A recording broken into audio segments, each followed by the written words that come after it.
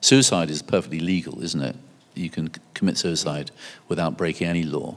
It's this very complicated area, which will be very complicated, I think, to legislate around, of helping someone else uh, commit suicide.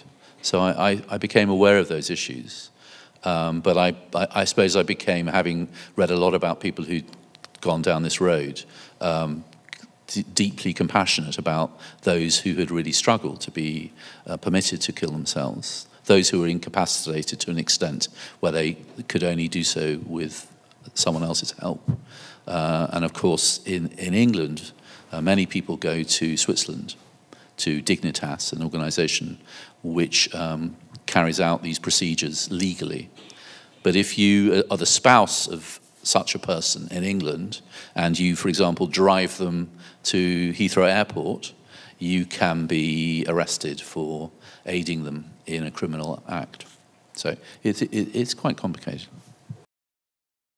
Although the film isn't an issue film or a, a campaigning film, I think it's unavoidable that the film doesn't condone, but it almost celebrates, certainly normalizes or makes uh, acceptable what this woman and her family end up deciding to do.